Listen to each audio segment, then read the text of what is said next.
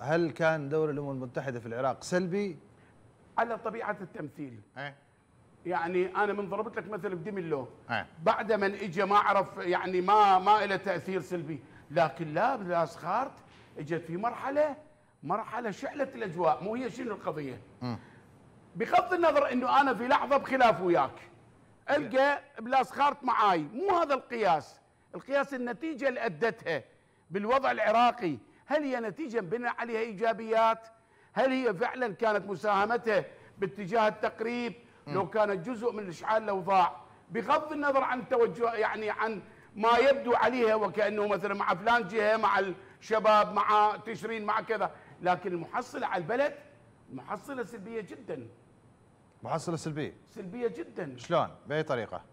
يعني أنا أنا أضرب لك مثل. أنا م- يعني خلينا نجي نبدي بالأحداث من قبل 2019 من بدات ال- التظاهرات تتضح. تظاهرات مشروعة. آه. مطالب شباب. زين. لكن عندما تستثمر هي في الغطاء دعم. لكن نتيجة إثارة الشقاق وتضخيم الخلافات والتحيز غير المبرر. يعني أنت بحياتك شفت آه، آه،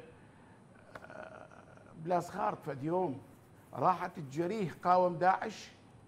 راحت التقت معاه مجموعة من مقاتلي داعش يعني ضد داعش اللي حاربوا أي. داعش آه. ليش أحيانا أنا شاب لبي ولا علي اختلق له كذبة قال والله أنا خطفوني وشبروني بالشارع فقلت لعبه يعني يعرفوها الجماعة زين وبالتالي تروح تقعد جوا رجلي يم رجليه بالمستشفى ليش تضغويها؟ أنت إيش تخلقين هذه الأجواء